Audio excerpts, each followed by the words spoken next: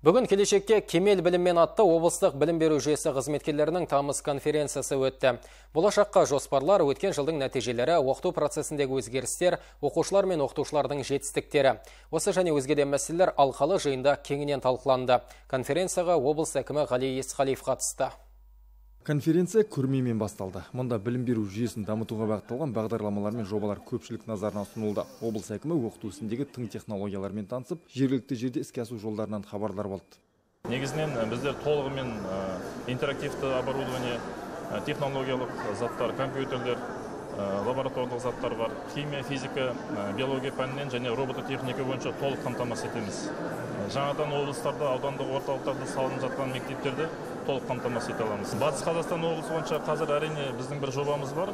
Ол компьютер паркін жаңаландыру яғни үкімет пен жеке бизнестің екеуінің серіктестігінің арқасында үш жылдан бес жылға дейін кепіл беріп отырып осы мерзімге ақша қаражатын үнемді жұмсау мақсатында осындай жобамыз бар. Жуырда өткен республикалық тамыз конференциясында мемлекет басшысы білім саласының алдында бірқатар міндеттер қойды. Ең бастылары мұғалімнің мәртебесін көтеріп материалдық жағдайын жақсарту. Президенттің бұл тапсырмалары жергілікті жерде де тиянақты іске асады деді облыс әкімі. Бүгінде өңір білім беру саласының бюджеті жетпіс екі бүтін оннан екі миллиард теңгені құрайды. Бұл былтырғыдан он төрт жарым миллиардқа артық. Мұның өзі педагогтар қауымына көрсетіліп жатқан қолдаудың ауқымын аңғартса керек. Сондай ақ білім нысандарын жөндеу жаңарту жұмыстары да назардан тыс қалған емес. Қазір екі мектеп салынып жатса жақын күндері тағы бір оқу ошағының құрылысы қолға алынбақ. Дегенмен аймақта апатты және үш ауысымдық мектептер азаяр емес.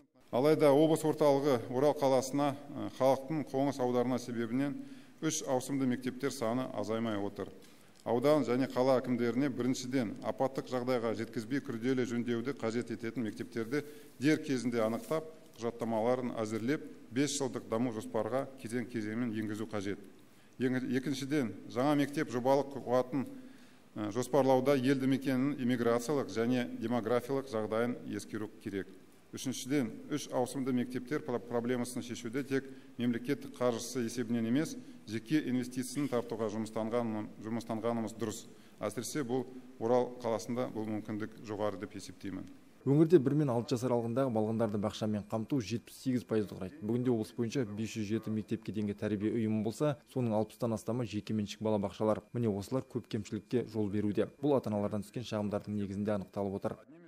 Первое это обеспечение квалифицированными кадрами Бірінші, білікті мамандардың тапшылығы. Бүгінде жеке балабақшаларда 456 адам еңбек етеді. Солардың 54 пайызында ғана лайықты білімі бар. Бұл көрсеткіш мемлекеттік балабақшаларда 90 пайызды құрайды. Екіншісі, әдістемелік құралдармен қамтудағы кемшілік. Әрі жекеменшік ұйымдардың басым бөлігі баланы бағып қағудан әрі аспайды. Тәрбие ісі мүлдем жоқ мемлекеттік тапсырыс салған жекеменшік тәрбие ұйымдары тарапынан жалған есеп беру деректері кездеседі яғни бақшаға келмеген баланы келді деп жаза салу. Сондықтан өңір басшысы қала мен аудан әкімдеріне мониторингтік топтар құрып ұсынылған қызметті бақылауға алу керектігін тапсырды. Әрі биометриялық құрылғылар орнату арқылы нақты қанша баланы қамтып отырғанын анықтаудың қажеттігі атап өтілді. Облыстағы мектептердің елу тоғыз пайызы шағын жинақты мектептер. Оларда әрбір алтыншы оқушы білім алады. Бір әттеген мұндай оқу орындарындағы білімнің сапасы ақсап тұр.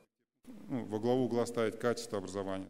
Басты мақсат сапалы білім беру. Саяси кеңесте елбасы осы мәселеге мән берді. Шағын жинақты мектептерге шығындалғанша балаларды интернаттарда жатқызып оқыту керек. Осы орайда әкімдер ауылдағы мектептердегі білімнің сапасын арттыруға, материалдық техникалық жағдайын жақсартуға көңіл бөлуі тиіс. Жасөспірімдер арасындағы суицидтік жағдайлардың алдын алу маңызды. Бұл бағытта мұғалімдер, ата-аналар, психологтар мен мектеп инспекторлары бірлесіп жұмыс істеу керек деді өңір басшысы. Қазақстан Республикасы білім және ғылым министрлігінің өкілі Гүлнаш Қошқарова білім саласындағы жаңашылдықтар туралы баян етті атап айтқанда жаңа оқу жылынан бастап жаңа пәндер енгізіліп оқулықтардың сапасы артады. Отдел серіктестігінің директоры валентина михно кәсіптік білім беруде теория мен тәжірибені ұштастыру түлектерді жұмысқа орналастырудың кепілі десе мұстақым ықсанов атындағы орта мектептің директоры азима ғұбашева жаңартылған білім жүйесінің жетістіктеріне тоқталды.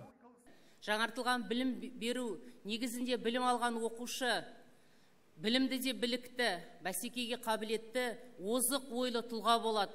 Оқушы өз бойындағы білімге деген құштарлығын арттырып қана қоймай өз ойын еркін жеткізе алады.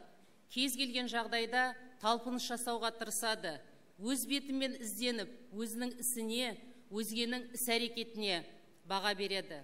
Шыңғырлаулық самат байболатов жас мамандарға көрсетіліп жатқан қолдаудың маңыздылығын атап өтті. Сапалы білім қарқынды дамудың кепілі. Соны түсінетін жастар біліммен қаруланып еңбекке ғана арқа сүйеуі тиіс. Мектеп кезінен бастап оқушылардың ұстаздық қызметке бейімділігін анықтап жалпы білім беретін мектептерде педагогикалық сыныптар ашу қажет деп ойлаймын. Мұғалім мектептің тынымсыз соғып тұрған жүрек іспеттес деп ахмет байтұрсынов айтқандай тек ұстаз ғана мектепті өзгертіп оның жұмысын жаңаша ұйымдастыра алады. Алқалы жиында білім саласында тұрған басқа да маңызды міндеттер талқыланды. Рауан диали дастан бижанов нұртай батырғали ақжайық арнасы.